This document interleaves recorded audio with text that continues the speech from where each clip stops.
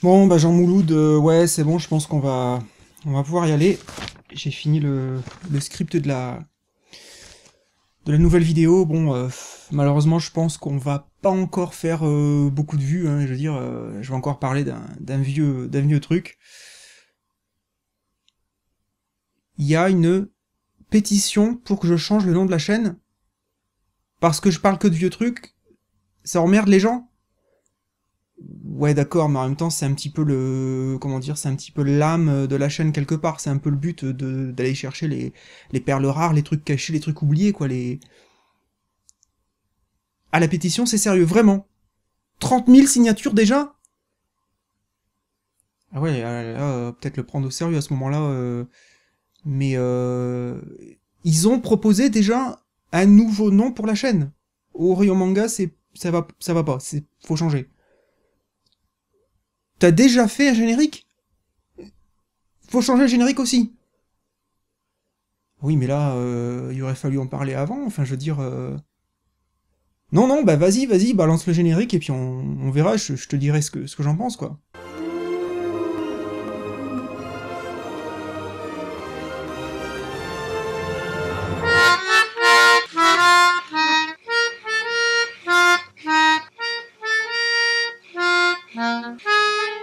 Et donc là, tu veux savoir ce que j'en pense. Ben j'en pense euh, ça. C'est vraiment un gros tas de merde.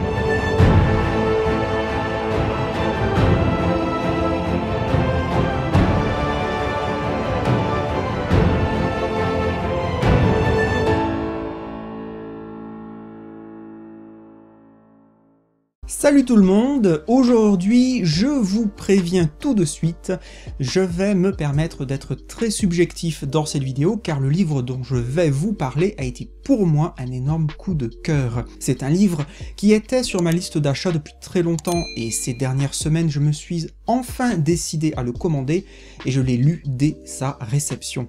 Je l'ai dévoré en seulement quelques jours et je regretterais presque de ne pas l'avoir lu plus tôt. Ce livre c'est Gekiga Fanatics, un recueil d'environ 320 pages publié chez le Lézard Noir et qui est écrit par Masaiko Matsumoto. Le livre est sorti chez nous en 2013, mais les différents chapitres qui le composent remontent en fait au début des années 80. Alors non seulement il ne date pas d'hier, mais en plus de ça, le titre met en scène un Japon encore plus éloigné puisqu'il dépeint la naissance du mouvement Gekiga au milieu des années 50. Comme vous le savez certainement, le Gekiga est un pan de la BD japonaise qui me plaît particulièrement et qui m'attire beaucoup.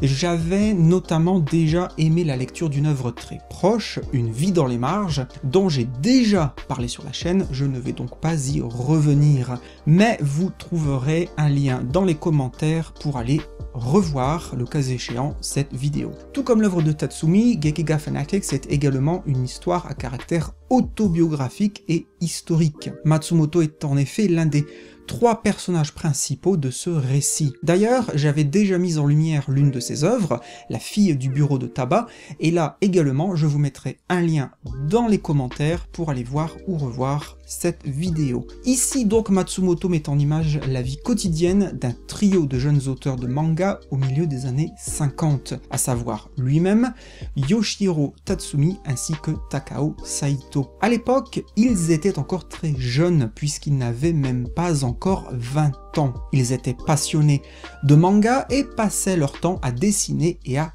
créer. Mais en ces temps-là, et c'est quelque chose qui peut paraître surprenant pour les lecteurs que nous sommes aujourd'hui, même au Japon, le manga n'était pas forcément plébiscité chez les adultes. Comme on nous le montre ici dans l'œuvre, il y avait par exemple des associations de parents qui s'érigeaient contre les mangas afin de les censurer, voire d'en empêcher la publication. Ils pouvaient être vus d'un mauvais œil, comme quelque chose pouvant corrompre la jeunesse.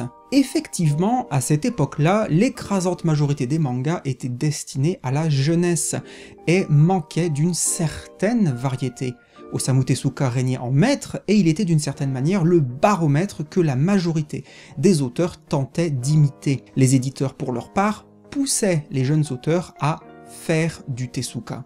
Cela voulait dire notamment injecter obligatoirement beaucoup d'humour dans les histoires. Le manga incarnait alors implacablement son étymologie.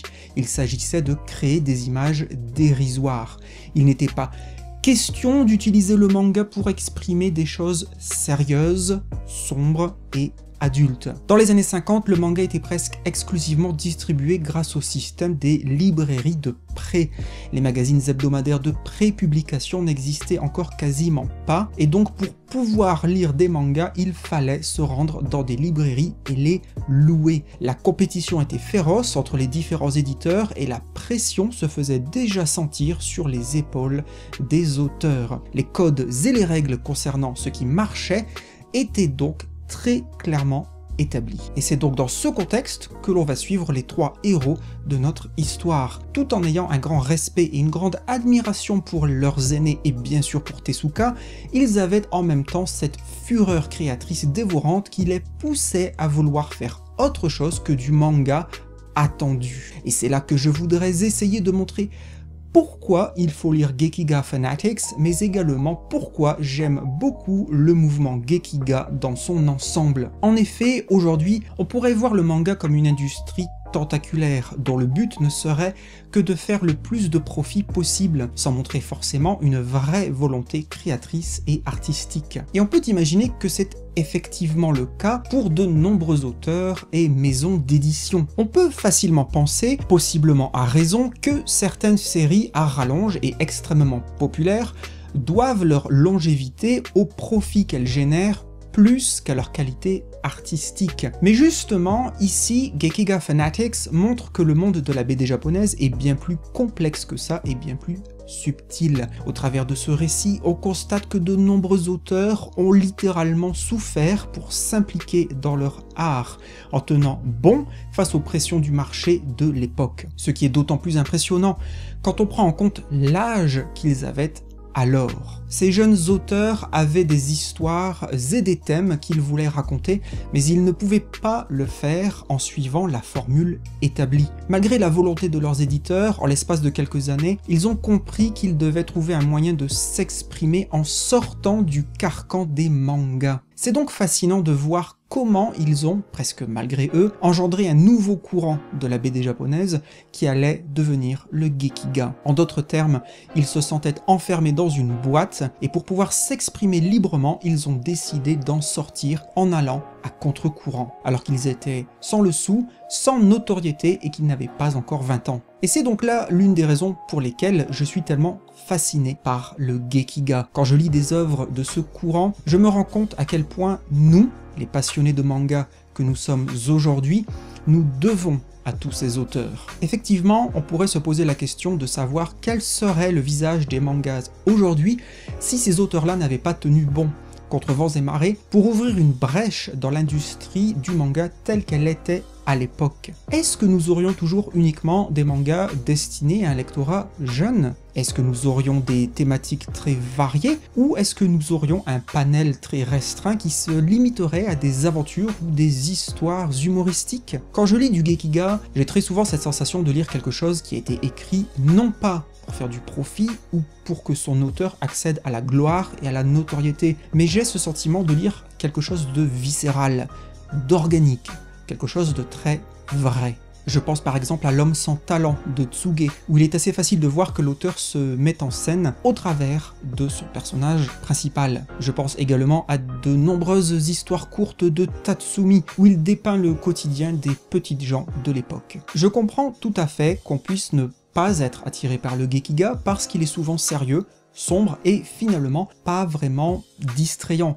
Je peux très sincèrement le comprendre, mais justement le but n'était pas de distraire ou de proposer une évasion au lecteur.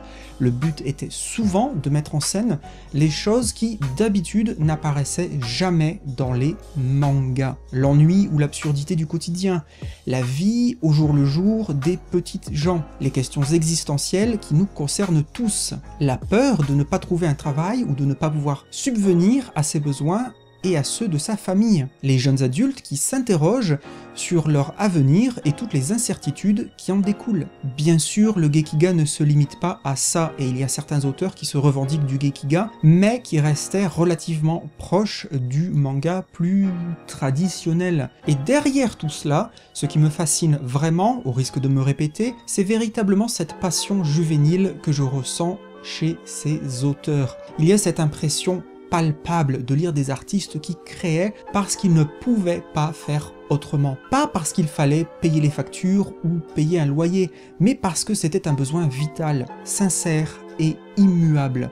Et je trouve que dans les mangas d'aujourd'hui, pour toute leur qualité, c'est quelque chose qu'on retrouve assez rarement. Ce sont finalement toutes ces choses-là qui rendent la lecture d'un livre comme Gekiga Fanatics passionnante et presque hypnotique. Au fil des pages, on devient les témoins de la marque que ces auteurs allaient laisser sur l'histoire de la BD japonaise. En vérité, je recommanderais la lecture de ce livre à tous les lecteurs de manga. Je le conseillerais bien évidemment aux amateurs de Gekiga, mais je le recommanderais tout autant aux lecteurs de manga modernes, pour se cultiver sur l'histoire du manga et découvrir d'où viennent les influences dont ont hérité les mangas d'aujourd'hui. Ce livre est bourré d'anecdotes, d'informations, de culture, le tout saupoudré d'humour et d'autodérision de la part de Matsumoto et de ses compères. On y apprend également beaucoup de choses sur le système des librairies de prêt, sur le fonctionnement et l'influence des maisons d'édition, sur les rivalités entre les différents éditeurs et sur le processus d'édition de l'époque. Ça a été pour moi une lecture très prenante et je pourrais vous en parler encore longtemps, mais je préfère vous laisser votre propre découverte. En tout cas, j'espère que cette vidéo vous aura été utile et surtout qu'elle vous aura convaincu de lui donner sa chance. Je vous remercie énormément d'avoir regardé cette vidéo, je vous souhaite de bonnes lectures et je vous dis à bientôt pour une nouvelle vidéo sur Orion Manga, bien sûr. Bye bye tout le monde